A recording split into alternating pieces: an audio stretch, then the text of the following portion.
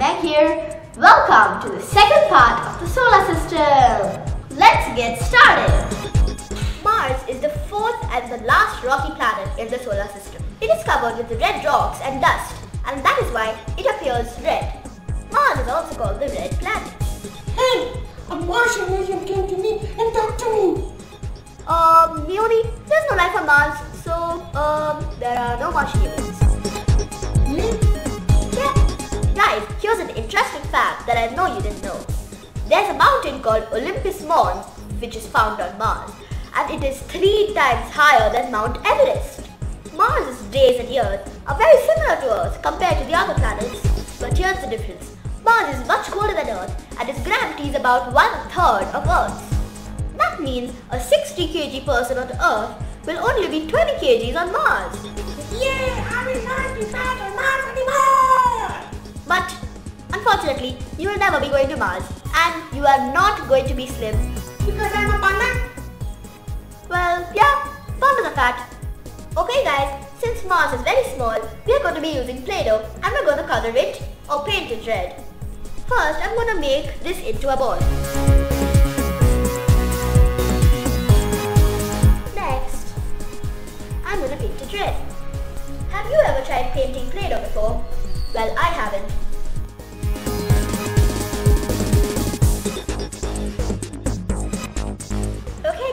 Here it is.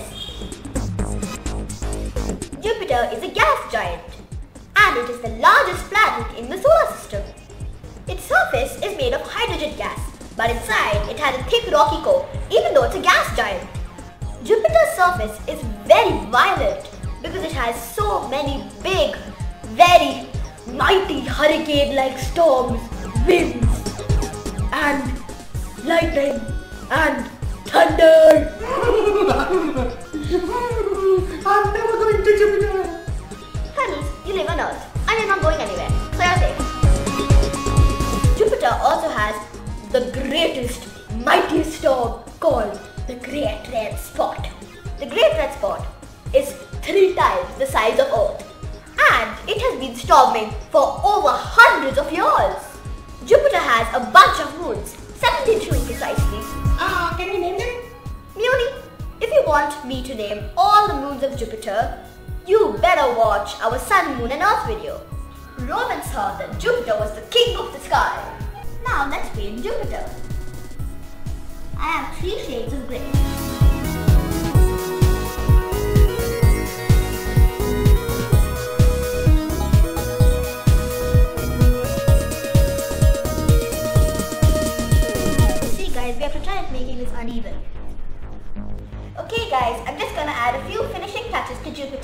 And make it a bit orange. Maybe paint a few orange stripes.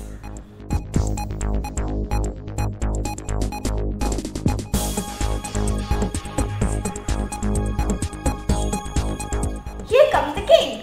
Ba, ba, ba.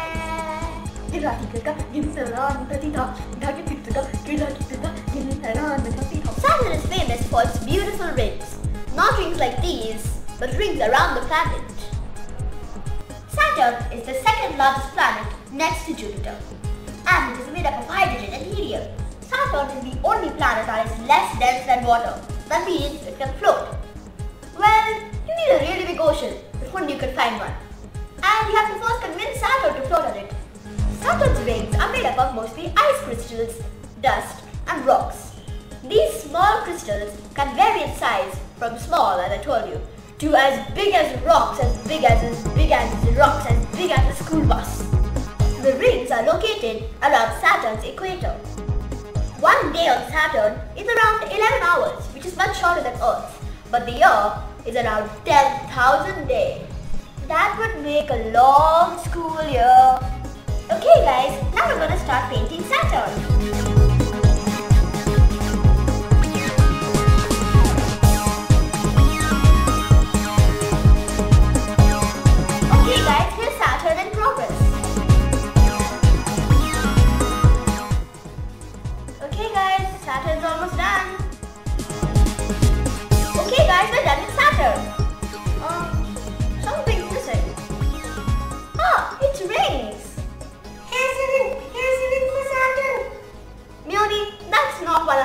Rings. That's my ring. Okay guys, to make Saturn's rings, we need some thick cardboard paper and a pair of scissors. Now that the ring is cut, let's paint it. And to hold Saturn's rings in place, we have used some pins. Next comes Uranus. Although its surface is made up of gas, its interior is made up of frozen materials. So you can call it the frozen jungle. As a result, Uranus' atmosphere is the coldest in the whole solar system. Okay guys, we're gonna start painting. Do you know why Uranus is blue in color? This is because of a gas called methane in its atmosphere. Here's a fun fact about Uranus guys. It rotates on its side. While all the other planets spin like a top, Uranus spins like a marble. Planets in the solar system have rings? If you guess two, you're right. Did you know that Saturn is not the only planet that has rings? Uranus has rings too, but they're very thin and dark, so they're very hard to see. So we're gonna skip making the rings for Uranus in this model. Sorry Uranus. And here's Uranus. Next is Neptune, the eighth, farthest and last planet in the solar system. Neptune is blue, which suits it very well because it is named after the Roman god of the sea. And just like Uranus, Neptune is also an ice giant. Double monster! Okay guys, now that we've painted all the planets, we have to figure out how to paint or make the black sky. To make the deep black space, we're using this carton and some black chalk. Let's stick this black chart paper inside the carton. Looks wonderful. Now we're going to hang the planets inside.